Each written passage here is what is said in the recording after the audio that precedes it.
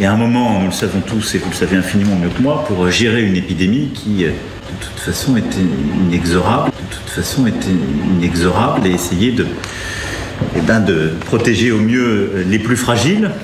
En métropole, toujours pas de mesures particulières à Orly ou à Roissy. À l'arrivée d'un vol en provenance de Milan, en Italie, à Roissy, ces deux passagères n'ont pas eu le moindre contrôle sanitaire à effectuer.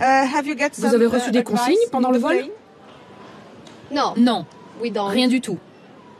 Rien sur votre sécurité face au virus Non. Après cinq jours passés à Milan, en Lombardie, en Italie, nous rentrons en France et nous allons pouvoir nous rendre compte du dispositif sanitaire mis en place pour les voyageurs qui rentrent entre Milan et Paris. 1h25 au-dessus des nuages plus tard, le retour à Roissy s'effectue le plus normalement du monde. Les risques de contamination n'ont pas l'air d'inquiéter les autorités. Aucun contrôle sanitaire euh, depuis Milan. On va pouvoir euh, rentrer chez nous, comme le veut la consigne, sans avoir été contrôlé, ni la température, ni rien du tout. Les prises de température qui étaient facultatives n'existent plus du tout.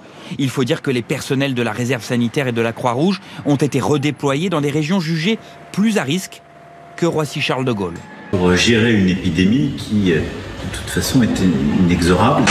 À l'aéroport de Beauvais, des salariés de France Télévisions qui rentrent de vacances de Lombardie, l'un des foyers du virus, constatent qu'à leur arrivée, aucune information ne leur est donnée. Pas de questionnaire, pas de masque, pas de prise de température.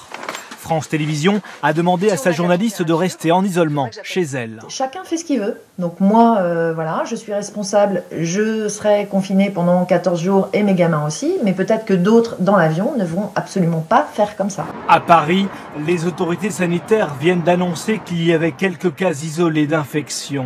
La préfecture se veut rassurante. La préfecture se veut rassurante. Je rappelle une chose, l'annonce de l'OMS date du 30 janvier, nous sommes fin février, et depuis ce temps-là, aucune fiche réflexe, aucun protocole n'a été envoyé dans les services. Pour gérer une épidémie qui, de toute façon, était inexorable. En France, la situation est considérée comme normale. Le service central de protection contre les rayonnements ionisants indique qu'aucune radioactivité particulière n'a été relevée sur notre territoire. D'abord, je tiens à vous dire qu'il n'y a aucun problème de sécurité en France. Aucun.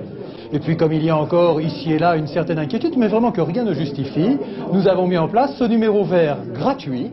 Il n'y a aucun danger sanitaire, aucun problème de sécurité en France. Mais néanmoins, si quelqu'un a un doute, si quelqu'un a une interrogation, si quelqu'un veut en savoir plus, il téléphone au numéro vert.